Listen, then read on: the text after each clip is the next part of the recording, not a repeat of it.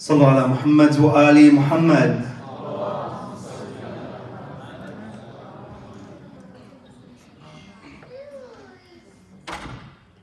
We're continuing with the celebration of Rasulullah sallallahu alayhi wa alihi wa Imam al-Sadiq alayhi salam.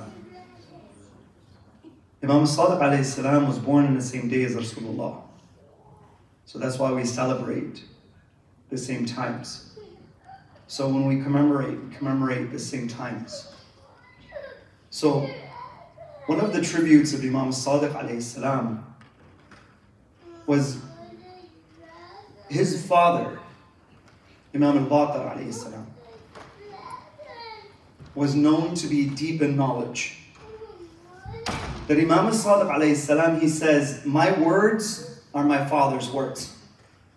And my father's words are the words of Rasulullah sallallahu alayhi wa And Rasulullah connects us to who? Allah Azza wa Jal. And as they practiced this amazing religion, Imam Ali alayhi salam, he says, أفضل الزهد إخفاء الزهد. The best, the best way to be, literally, zuhd is to be indifferent. I gain something, great. I don't gain it, it's great. I'm still okay. My heart does not move. I'm not affected by the loss or the gain. That's zuhd. He says that, to be that indifferent, is the best way is to what? Conceal it. Don't show it. He's saying that's the best. So far so that Imam al-Sadiq was entering the bazaar and he walks in and he's wearing very fine clothes. He's wearing um, like really up-to-date clothes because his time he could do that. There was no, there wasn't that oppression on him. So a man sees him and he walks up to Imam al-Sadiq and he says to him, he says, look at the difference now between what? Someone who's indifferent truly on the inside and someone who's bearing it and wants to show off from the outside. Place yourself in these two categories. You as a person, take a judgment of yourself. Right now at this moment, as we go through this, there's a spectrum. See it, then apply it to yourself. It's your own life. See what your heart tells you have a conversation with your own heart, and then be truthful with it. Don't hide the truth from your own self. Imam, Imam Sadiq alayhi salam was known to be what? A Sadiq, the truthful one. The first person you got to be truthful with is yourself. That's a very difficult conversation sometimes. Trust me. It's not easy to tell yourself the truth. Imam Ali alayhi salam, he says, the truth is heavy and bitter. It's amazing when you think about that. To really look down deep inside your heart and see, measure yourself. Truly, am I really here? Or am I really here? Do I justify my actions here? And do I lie to myself? That actually leads to self sabotage? Or do I tell myself the truth that leads to self development? Because I need help in this area. You're admitting to yourself. So Imam salam sees this man approaching. And he says to him, I have never seen your forefathers wear this. I've, seen, I've never seen them do that. Why are you doing this? His garb, he had nice, a nice garb. He looks at him. He says, This is for my own dignity. Remember, ikhfa? Not to show you're, you're normal amongst people. You're not boasting. I'm not this and I'm not that. Your clothing talks. It talks. Your emotions talk. Your behavior talks. 93%, 93% of trust is lost before you open your mouth. 93%. Your clothing talks, it conveys messages. Sometimes our clothing doesn't convey the same message as our tongue. Now, he says to him, This is for my own dignity. This is for me amongst the people. And listen to what the Imam does. He grabs the other man's hand and he slips it underneath his garb. This is the epitome of wisdom of application. It's incredible when you want to relay a message. It's incredible. These are the people we follow. Why? Because of these things. He feels his undergarments. They're rough. They're very rough. Imam Sadiq alayhi salam does what? He puts his hand inside the hand of what? The other man who was wearing what? Very raggedy clothes. He was wearing very what? Raggedy clothes. Proclaiming that he was what? Poor, different. Look at me, I'm humble. We want that attention. We want that attention in every which way. Look at me, I'm a good person. Sometimes we parade what we want to, we want everyone to see it. And now you can parade it at a completely different level. Because we need that attention. We need it. Imam Ali alayhi salam says, when you do something, conceal it It's the best way to do it. He feels inside his clothes. His undergarments were very soft and silky. See the difference? It's incredible. One is truly for Allah Azza wa Jal, and one is what? For the eyes of everyone else. Because I need that intention. I need it. I need people to tell me, look, you look good. They need to validate who I am. Hassanain said something beautiful last week. He says, You like me, I like me. I used it, by the way, multiple times. That's really incredible. Now, Imam Sadiq alayhi salam, what is he telling us? Let's be normal amongst everyone. But you are a flag. You are a walking, talking billboard, you are. What you wear matters. What you say matters. How you say it matters. Everything about you matters. Can we represent at that level? Can we? I'm going to give you three things really quickly about Rasulullah sallallahu alaihi wasallam. Sallallahu ala Muhammad wa ali Muhammad.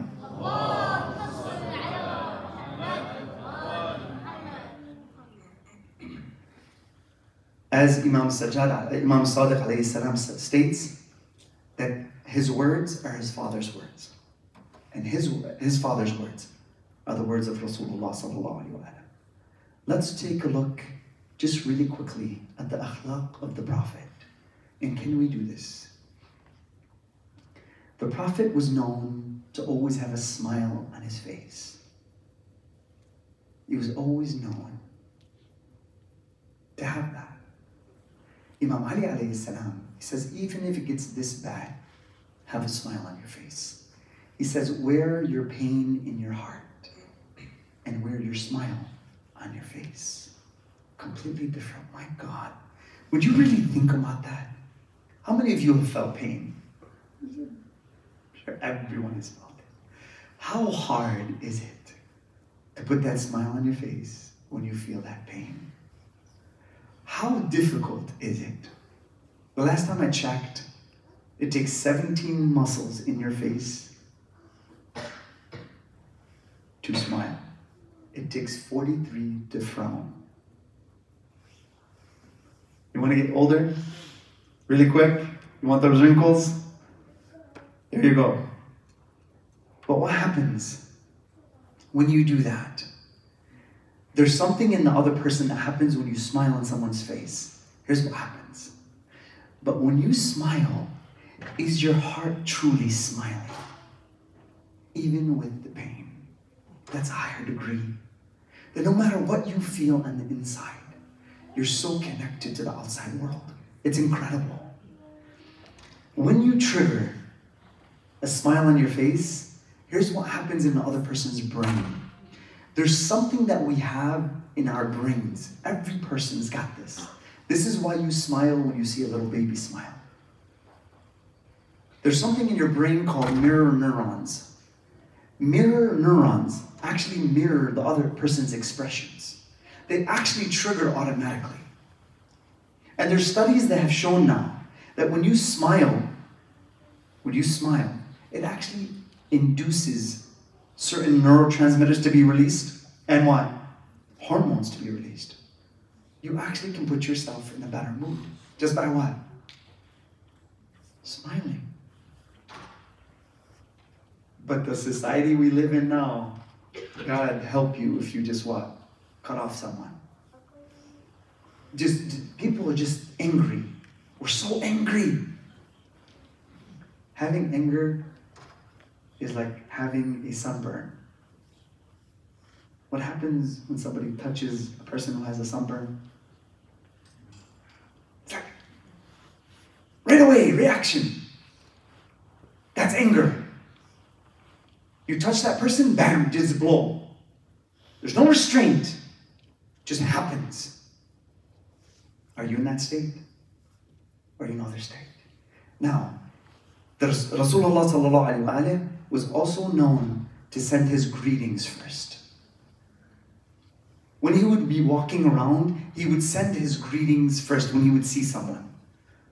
How many of us, when we see someone we know, like, you look at them, did they see me, not see me? It's okay, they didn't see me, I'll just go. We do that. We don't go out of our way just to make sure that what? We say Salaam Alaikum. Guess what? If you say Salaam Alaikum first, you're earning what? You guys know the math. I'm not going to say anything. Okay, 69, you're earning 70, 71. If it comes from your heart, who knows? Who knows what Allah is going to give you? Yes. What is it? Jannah. Beautiful. Inshallah, we all get there. Number three, Rasulullah was also known to shake hands first. Look at the akhlaq of Rasulullah. Sometimes we walk in, we just walk around, we don't even care. And I'm talking to myself first. Sometimes we forget. But look at the love from Rasulullah. This is how we need to be. Imam al-Sadiq was one of the representatives of Rasulullah. If you look at them one by one by one, they were a map to the next person. Literally, that's how they were. Can we be their map? Can we? Can we do that in this time and age where it's so difficult? Everyone's got trouble. Everyone. That I somebody sent me this and I'll finish with this this morning. I received this and it was a alim, he was speaking. And he said, Is there anybody, he was he asked this alim, and he says, Is there anybody martah fi dunya? I don't know, has anybody seen it? You've seen it?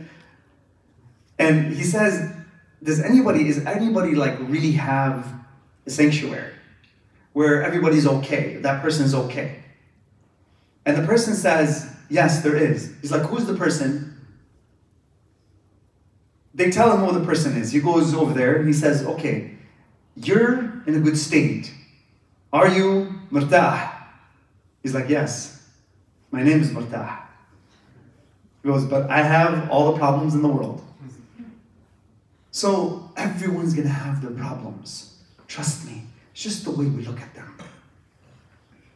Disconnect as much as you can from the temptations of this world and be a zahid. Can you get to that stage? Can your garments from the inside truly be what? Harsh, where you don't need anybody to tell you who you are. Can, can you be that at that stage? Can we be like that? That's what we should strive for. That's what we should get to. And we have the best exemplars to do that. Sallallahu ala Muhammad wa ali Muhammad.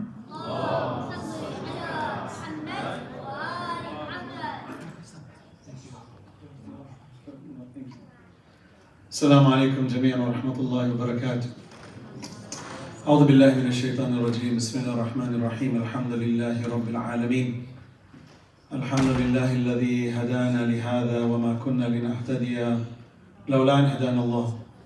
الحمد لله الذي أنزل الفرقان على عبده ليكون للعالمين نذيرا. والصلاة والسلام على سيدنا وحبيب قلوبنا أبي القاسم محمد. اللهم صل على وعلى آله الطيبين الطاهرين المعصومين المظلومين. أما بعد فقد قال الله سبحانه وتعالى في كتاب المجيد وقوله الحق بسم الله الرحمن الرحيم إنا جعلنا ما على الأرض زينة لها لنبلوهم أيهم أحسن عملا subhanahu wa ta'ala says in the seventh verse of Surah Al-Kahf. As you know, Surah Al-Kahf is my discussion tonight.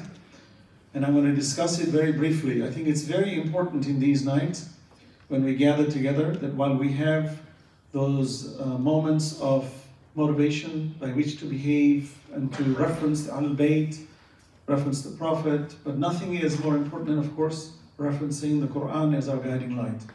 As you know, Quran is the final revelation, and it's important for us to understand uh, as Muslims, even as non-Muslims, what does the Quran really entail?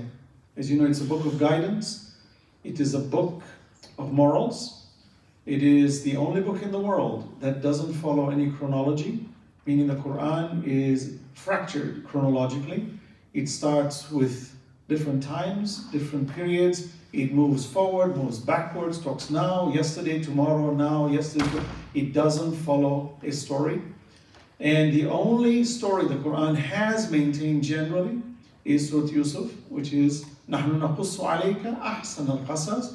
We're going to reveal to you a good a narrative, you know. And then God starts with uh, Yusuf, Joseph, who's known in the Bible as Joseph, who has a dream as a child. And then, of course, the story goes on all the way to the end when he becomes the governor, or to say the um, controller of the treasury of Egypt. And there's a story behind that, obviously, it's very deep. But you'll find the Quran is a book of morals. It's the only book in the world where God speaks from cover to cover. It's the only book in the world that's memorized. Christians, Jews, Hindus, Buddhists don't memorize their scriptures, not at least as a standard. We're the only religion in the world where millions of youth memorize the Quran, and the Quran is an easy book to remember. Allah says, وَلَقَدْ يَسَّرْنَا الْقُرْآنَ لِلذِّكْرِ فَهَلْ مِن مُدَّكِرٍ Indeed, we have made this Quran easy to remember. Who will bear witness to that? Who will take action on it? Who will, who will take action on it, right? So tonight, briefly, as we know, Hajj Wissam talked about Imam Jafar Sadiq alayhi I want you to understand the, the position of our sixth Imam is pivotal because when you look at the five major schools of thought between Sunni and Shia, you will see that the teacher of all these schools of thought that's central generally is considered Imam Jafar Sadiq. Specifically in the Ahl Sunnah wal Jama'ah schools of thought, you'll find Abu Hanifa, Imam Malik, they were all students of our sixth Imam, directly or indirectly. And it's unanimously agreed that during his era, more books were written than ever in history in that region. 4,000 books were written in his era. And he recommended his students to write down, write it, write it, and write it. And the reason our sixth Imam was so upfront with academics and education was because the caliphate was shifting hands from the Umayyads to the Abbasids. So the troublemakers, the tyrants who were blocking knowledge from reaching mankind, was given a bit of time for it to, um, for, they were distracted in other words. The Umayyads were collapsing, as you know, the Umayyads um, started to be very decadent, and they were now being taken over by the Abbasids. And while that was happening, our Imams were left in a relative amount of peace, which enabled them to do that. So that means we know that was Imam Ali, for example, allowed to do what he was going to do and Muawiyah didn't trouble him, Imam Hassan the same thing, Imam Hussein the same thing, then we would have had the most massive institution of academia on earth. And many of the secrets that we haven't understood today would have been uncovered, and our lives would have been at a better level. But nonetheless, let's suffice it to say that the Quran, which is a complete book, has given us the foundation of knowledge. And now all we needed actually for Imams was to interpolate, extrapolate, and express it and give more light to the message of God, which is unfortunately sometimes we're left to have to uh, figure it out ourselves through the principles of ijtihad. But let's know that 255 years after the hijrah, that Allah managed and kept us reflective of the Prophet through the Imams. Surah Al-Kahf, very important. So in this verse, the seventh verse that I started, you find that the Quran is a book of morals, is telling us that you have been created to be tested on earth. Now, of course, that's not the reason we were created. The reason we were created is because God is merciful. Allah created all His creations in the universe is simply because He's merciful. He just wants to share from His infinite treasury. But the modus operandi, meaning that once we come into existence, and should God give me the power to select good from evil, meaning give me limited free will, then it's a requirement that we should be tested. There's no other way. If you and I are ever given free will, then we must be tested. If we lack free will, there's no test. But if we have free will, we must be tested. And what's the test all about? It's predicated on the principles of intellect. Now, intellect, akal, is very deep, meaning this cognitive recognition of the presence of the Almighty. When Allah says, Nahnu aqrabu ilayhi min hablil warid, indeed we are closer to you than your jugular vein, here you will notice even those who reject God, like atheists, will tell you that there is some supreme being. Okay, and if, if, if, you, if they lose control of their antithetical positions with regards to God, you will see that they will utter things that they, it will be evidence against them that they actually do believe God is there. Those who become atheists typically reject God not because they want to reject God. They've been confused by those who pretend to believe in God or those who are within the paradigm of religion. As Imam Ali says, atheism is the result of the misdeeds of the believers. So when you and I as believers, if we misrepresent our religion, we become extremists, or we take religion out of boundaries, then atheism has credibility because now it sees religion as an extreme ideology, and you find the atheist considers themselves moderate. But when believers are moderate, then atheism will fade away because the natural result of our existence is to know that there's a superior being. Even Dan Barker, when he debated me, he said, When I see your God, he looked at me and I said, Hassanain, when I see your God on Judgment Day, I am going to tell him you are wrong. So I looked at him and I said, Oh, Dan, you do believe you will see him. That's good. That's good because this debate is about whether he exists or not. So you seem to be pretty confident. Because it's true. Honestly, for you and I to exist without an infinite being, is ludicrous. It's absolutely absurd. For anyone to postulate anything further than that has not understood the realities of life. And I don't want to go into that. Let me jump into Surah Al-Kahf, the 18th chapter. Beautiful. God says, I will test you. So this verse number 7 sets the premise. Surely we have made whatever is on the earth an embellishment, so that we may try them as to which of them is best indeed, in best in works. Uh, Ahsanu Amala. So Kahf has four stories, four main stories. It's very important for all of us. When there are 114 chapters, when someone says Surah Al-Mulk, Surah Al-Waqa, you know, Surah Yusuf, Surah Maryam, what does it entail? You should have a quick mental image. I know what this story is about, what it references, what sort of verses are in it, what, of, what sort of do's and don'ts are not in there, so that we have a mental image of the Quran. So, as a synopsis today, within 10 15 minutes, I'm going to present something. I want you to pay attention. There are four trials in this surah. Four. The first trial Allah talks about are the youth of the cave, known as Ashab al Kahf. And Allah says, أم حسبت أن أصحاب الكهف والرقيم كانوا من آياتنا عجبا So there are four stories. If you can, let me just plug this in, and I'll see, you know, you kind of get a visual of where I'm going with this. Hopefully it'll show up here, just make it work, please. All right, four.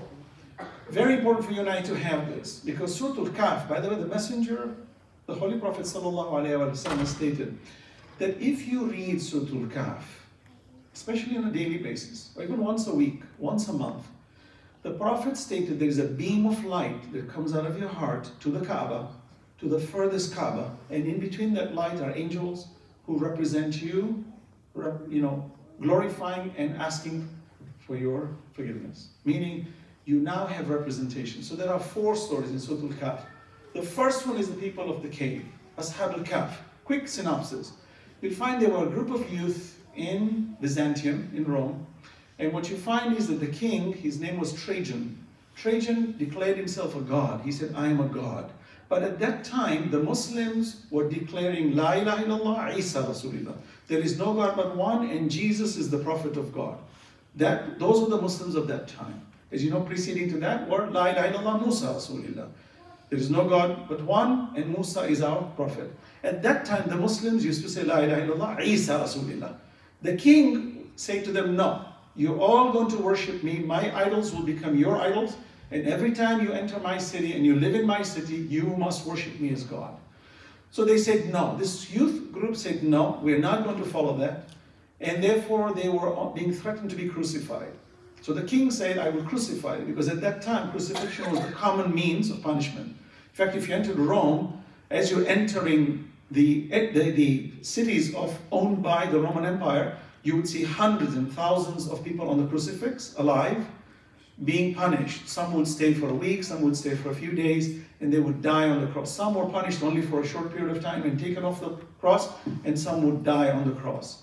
And the average lifespan in Rome at that time was about 36 years of age. So around 36, 38, you died. Today, 75, 70, almost double the age. Then people used to die much earlier. The youth of the cave said, no, we believe in one God. So the first trial, the people of the cave, was the trial of Iman, faith. Okay? So Allah talks about this. Look at these. Am hasibta. Have you taken account of an ashab al kahfi wal والرقيم the youth of the cave and the inscription كانوا min ayatina ajaba. it's a great thing meaning it's, it's amazing ajib. if awal أوى الفتية al kahfi, when the youth of the cave say قالوا ربنا آتنا من لدنك رحمة. Our Lord, give us from your infinite treasury and make our affairs right. So I advise us all, if there is one qunut you and I should read when we pray to God, this. Ask for God to give us from His infinite treasury, آتنا من لدنك رحمة. وهيئ لنا من أمرنا رشدا and make our affairs right. Allah, I don't know.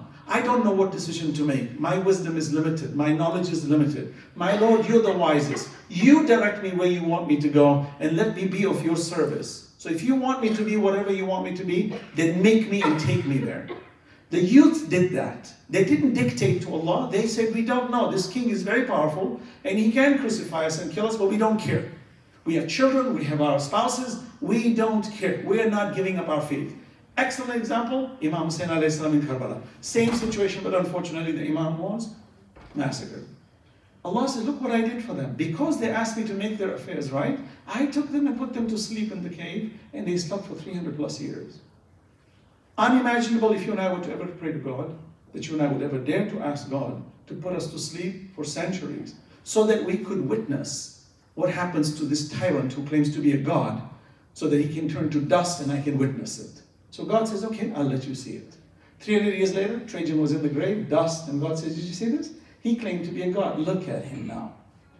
First. So the first was the Surah Al-Kahf, was people of the cave. The principle behind it is, is the trial of faith, Iman.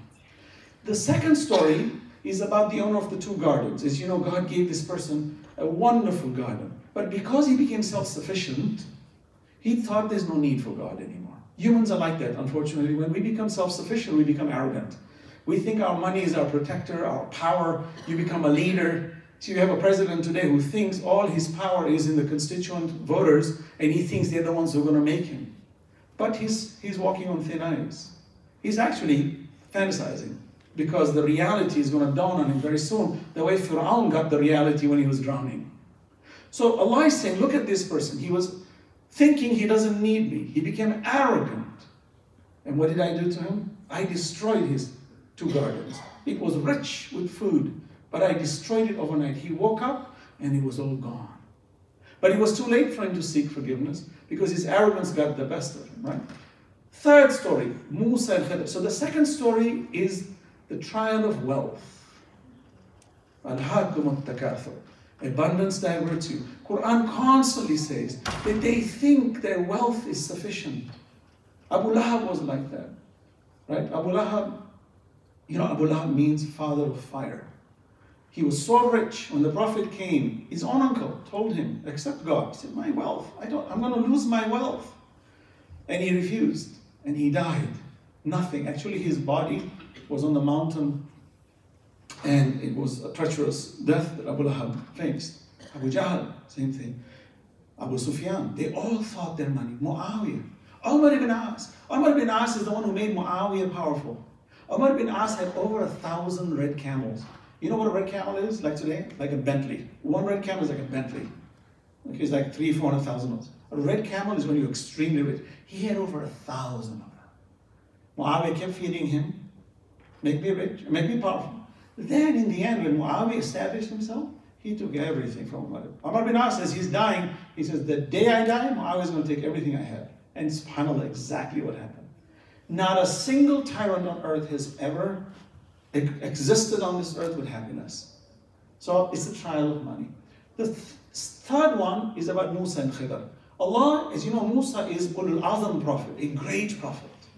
And he's the one who, who got revelations. As you know, he got the Torah, the Torah, and he freed the children of Israel from the grip of um, the Pharaoh, and he split the sea, and he, he performed miraculous nine, nine signs. Allah says, Fi ayat, and I gave him nine miracles, nine.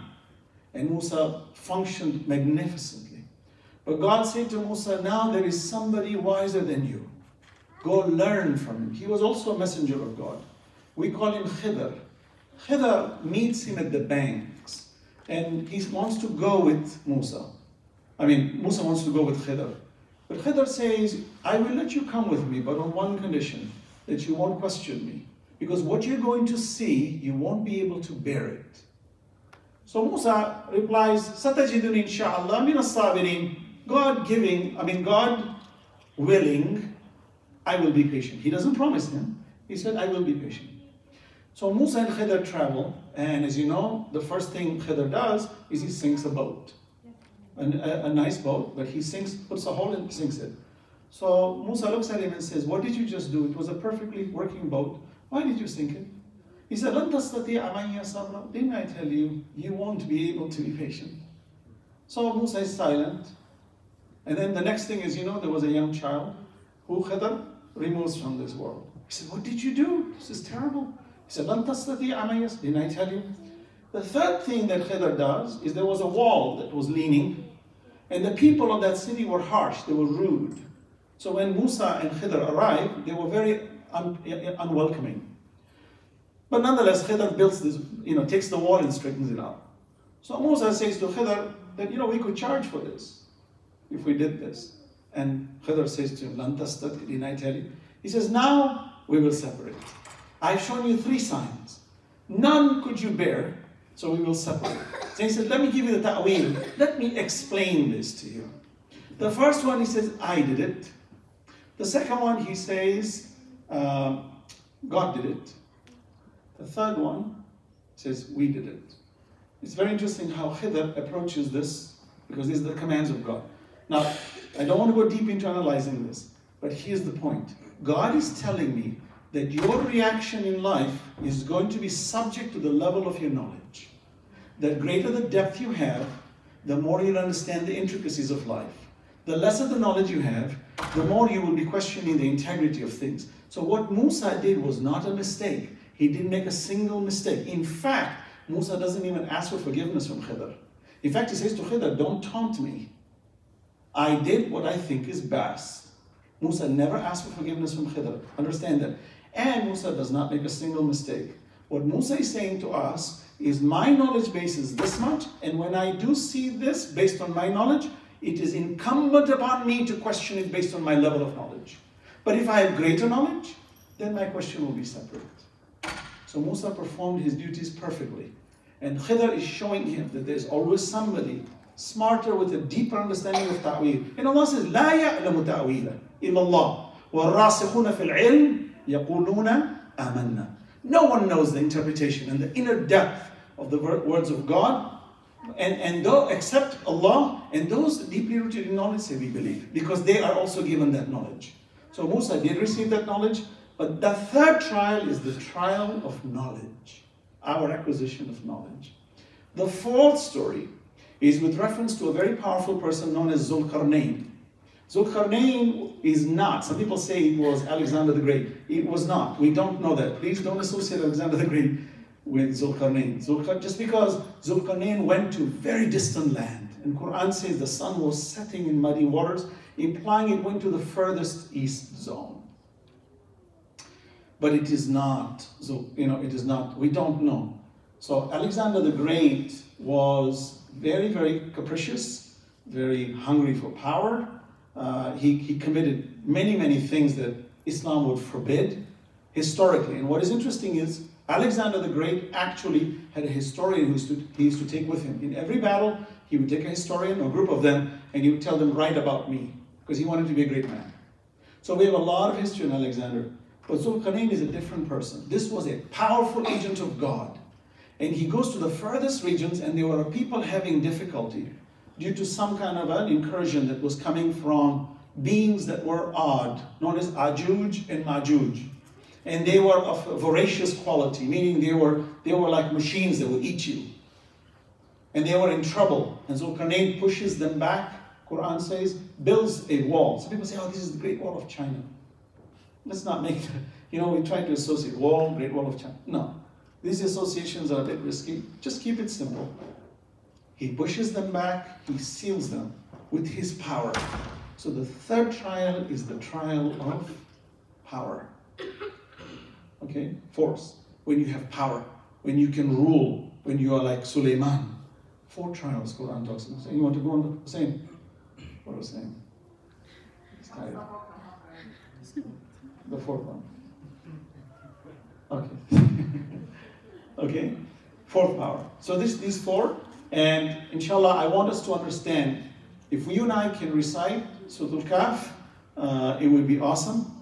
And um, inshallah, hopefully, we have um, some guests. Or oh, the three, you mean the sinking? Yes. So the first one was that there was a, uh, a tyrant who was going to come and um, occupy these people's properties, and he was going to take all the good properties. So Khidr damaged one so that the king, who's a tyrant, will not take that, so that the good people will still be able to fix that boat so they can use it. The second one, it's very complicated. It's a very deep philosophical reality is that this child was going to be a tyrant and God replaces the good parents with another child. The third one was the fact that there were two orphans whose wealth, their father was a very pious man, and he hid the wealth for these two orphans. And the, wall was the marker. If the wall fell, there'd be no more marker. So Khidr rebuilds it to ensure that those children, when they do reach maturity, that they will be able to take the wealth that is hidden under that wall. That's the ta'wil. Okay? The moral of the story is that the agents of God are constantly doing things for us, though you, you and I may not see it. So people say, what is Imam Mahdi doing for me today? You and I don't know. There are thousands of good things He's doing that you and I may consider not done, but actually He has prepared them. And God doesn't have to tell us about it. Just like every breath you and I take is a blessing of God. When children ask me, I say to them, pray, thank God. I said, for what? I said, do you realize that if you have one insect that comes into your throat and lodges into your lung, you'll be going horizontal. You may die. Look here, one little virus. Stop playing with each other's hands. I know you like each other, but you know, a little bit, okay? Uh, so what happens then is that you find Allah subhanahu wa ta'ala is constantly doing good things for us. Constantly. When you get in the car and you drive and you arrive safely, You, we, we don't appreciate what Allah has done. You know, the other day I was traveling and um, my flight was delayed. Why? Because there was snow. That was, you know, I was traveling to New York. There was a funeral, and I was traveling to New York for the funeral, and I had time myself. So I'm at the airport, six o'clock in the morning. I'm going to get there. I'm going to get there. There was a storm in Chicago, and there was a storm here. But the flight that was coming from Chicago was delayed to come to Detroit, and therefore my flight was delayed to New York. I got delayed three hours, three, three and a half hours. And you're waiting, and you're looking at the time, you're waiting, is the plane here? And you're starting to question everything, like, oh my God, what's going on? And then you realize, I have probably put 200,000 miles of flight time, and it's like on time. The plane comes in, you get in, you leave. We don't realize the blessings of Allah that when that plane takes off on time and it lands, and the pilot says, in 13 minutes we're going to land, and we do land, you think that's all just haphazard chance? It's the blessings of Allah.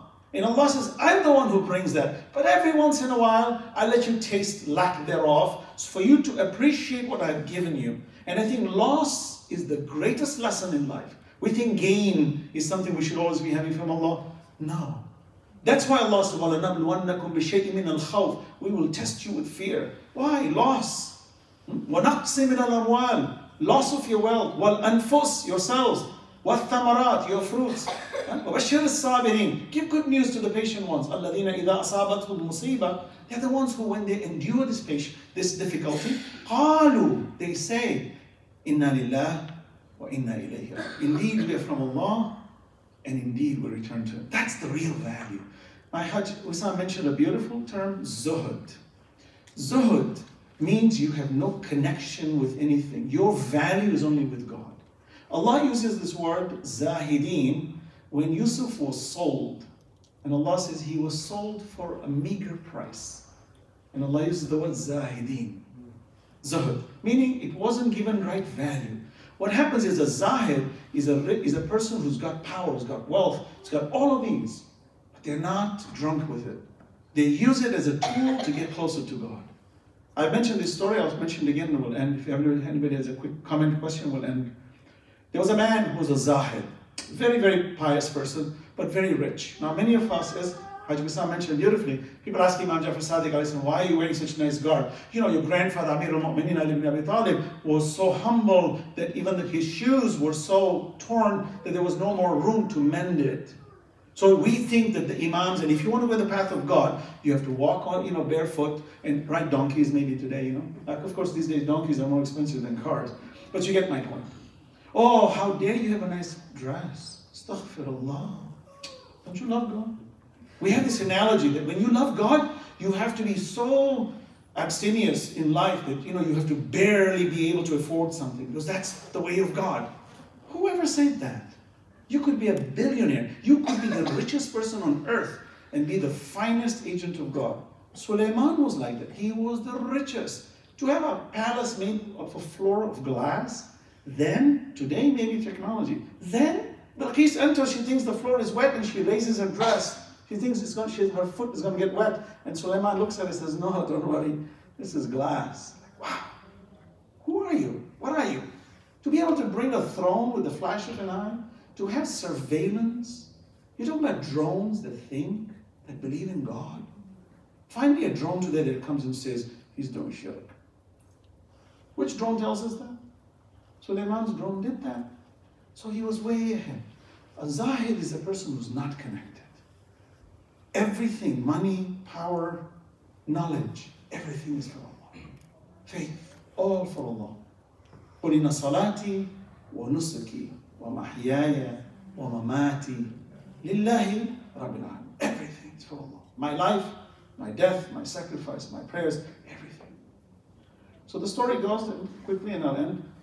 A man heard that this was a Zahid living in this city and he said, Oh, let me go visit him. So I heard this guy's a big Zahid. Zahid meaning he's very um, godly. When he comes to and he enters his house, it's a palace, enters a palatial place, he sees servants everywhere, and he's stunned. He's walking around, of course, this guy liked, always loved to have a tasbih. You know, some people just love a tasbih in their hand. Simple, rosary. He's holding a rosary. And he goes and visits this man. So with the rosary, he's going in, he's looking, so, hmm, this man is a man of God, huh? I doubt it.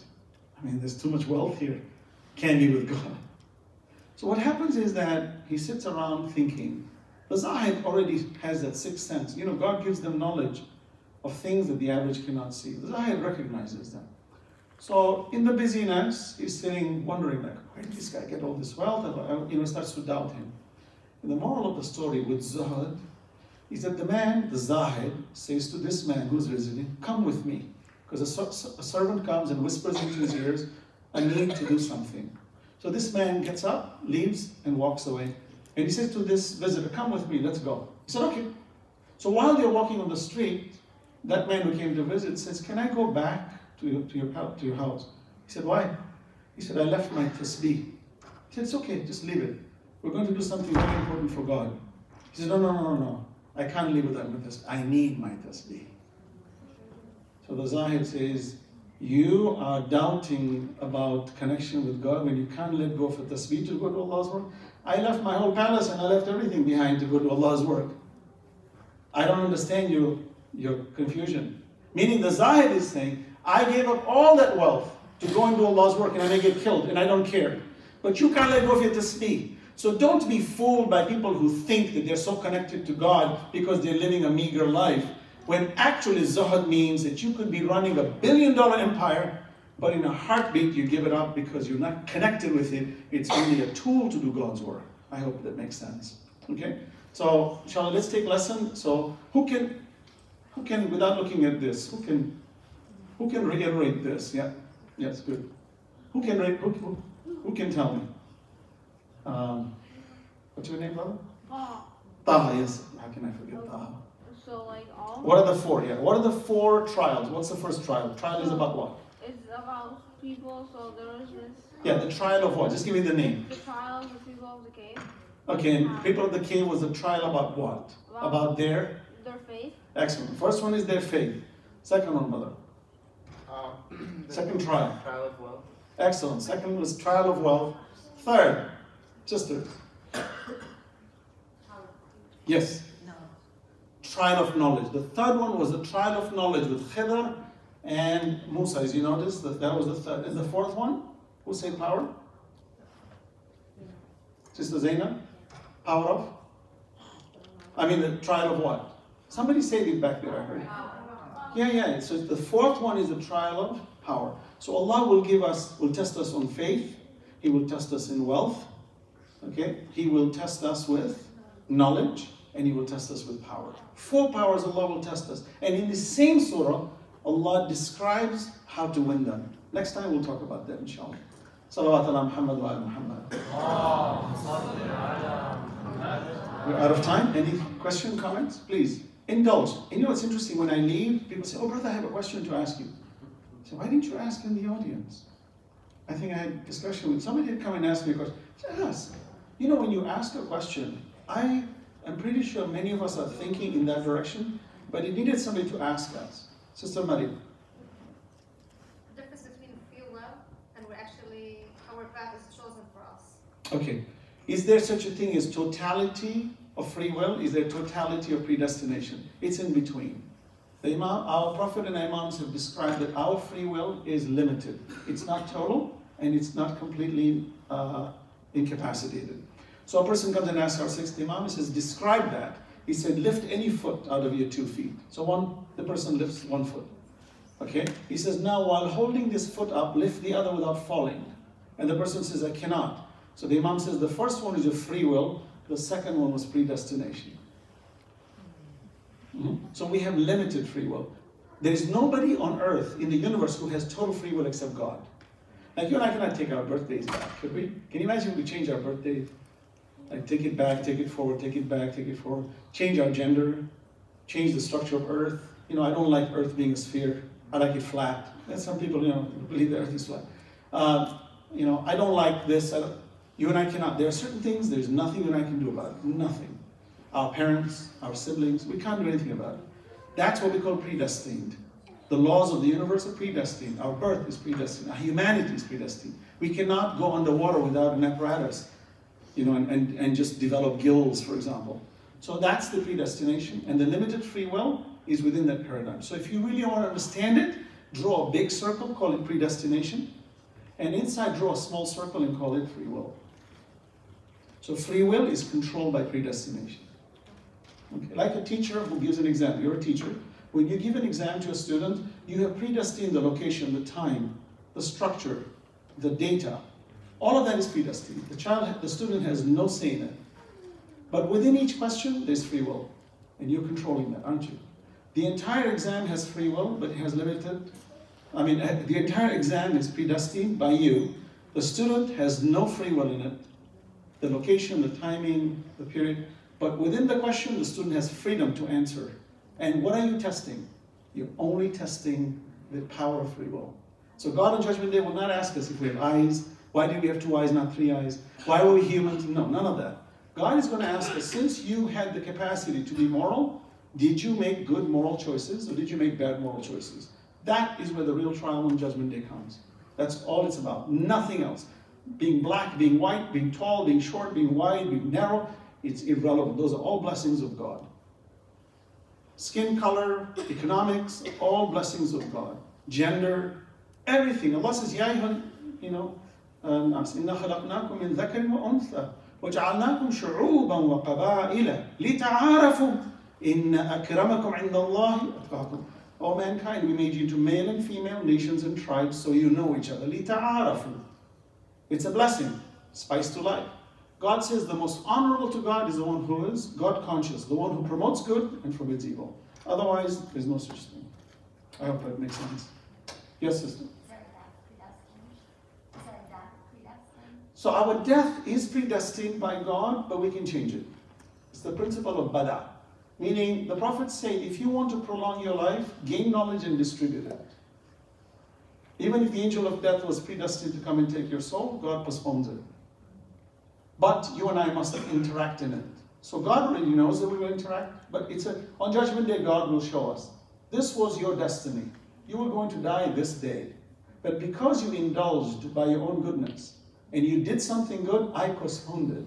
Although I knew you would postpone it, that, that I will postpone it, but I'm letting you know that it is my decree to be this day. But I've allowed you to interfere in my decree. And Allah says, إِنَّ اللَّهَ لَا يُغَيِّرُ مَا بِقَوْمٍ حَتَّى يُغَيِّرُ مَا بِأَنفُسِهِمْ God doesn't change the affairs of a community until He changes them themselves first. So God is telling you and me, indulge in it. You know, يا أيها الناس, you know, for example, taqwa, right? وَلْتَنْظُرْ نَفْسٌ مَا قَدَّمَتْ لِغَدٍ Be careful of what you send tomorrow. You and I, you know, our blessed Imam, uh, Prophet has said that when you do a deed, right, understand its consequence. Otherwise, don't do it. Because you, you and I are sending something forward. So, yes, we can change our death dates. The other way to change a death date is to give charity. When you give charity, Allah prolongs your life. It's very important. Speaking of charity, um, help us with the academy, please. Your support is very important. As you know, we're launching IQRA. IQRA is the Institute for Quranic Research and Application. It's going to be a full force program that's going to be, inshallah, global, international. We're going to have our radio station opening up next week. We're going to be trying our podcasts.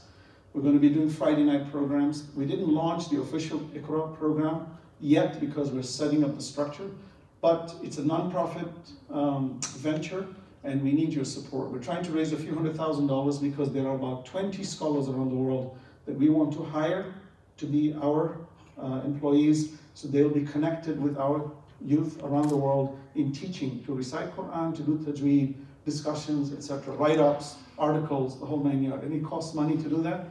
Let's bequeath it. Let's put money in it and say, in the name of our loved ones who have died, let's put this because there is nothing to me. I pray to Allah every single day. If there is one thing I must accomplish that I have not accomplished to my satisfaction, is to create the most powerful Quranic movement, institution, because I'm afraid that the Prophet will say, Ya Rabbi, inna qawmi ittakhadu hada Qur'ana mahjura. My Lord, my community ignored it. We, Allah has blessed us with these beautiful facilities. Shame on us if we don't make it central for the Quran. We need help. It's a lot of work. It's a tremendous amount. I go home at 3, 4 in the morning every single day because planning, strategizing is, just a monumental task. But I love it and I feel greatly honored to have this opportunity to do that. So please help us. Many a times people come and say, brother, you built the school, what can we do to help? Here, help us. Give us a loan. You know, we're, we're, we're having, we're struggling right now. We have to build a swimming pool for $500,000. The British Swim School gave us 250. We still have to dish out quarter million dollars from our own pocket.